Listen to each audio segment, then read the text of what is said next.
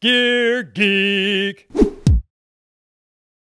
Okay, so um, my name is Antoine. I'm in charge of the product development for Arva, and I'm here to present you the new Neo, which is our latest beacon, and we just won an ISPO award with that.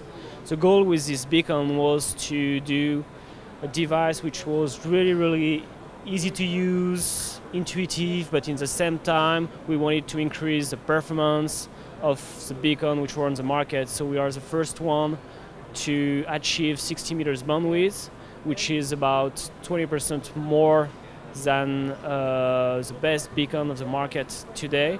So the goal is to get a signal sooner so you can go faster on the victim and find your body uh, really fast and dig, it, dig him out. So it's really easy to use. There's only one big button for the marking function and another one which is easy to use with gloves for emit and search function. It will be around 270 retail around Europe. Uh, September, next September.